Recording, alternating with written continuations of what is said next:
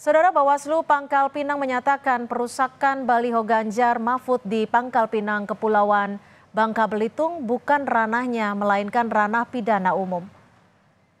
Bawaslu Pangkal Pinang menyebut perusakan 8 baliho Ganjar Mahfud bukan ranah Bawaslu karena tidak memenuhi syarat formil, lantaran terjadi sebelum masa kampanye.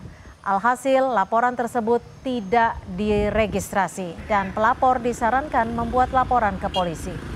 Pelapor sendiri mengaku belum membuat laporan ke kepolisian karena beranggapan alat peraga kampanye merupakan ranah Bawaslu.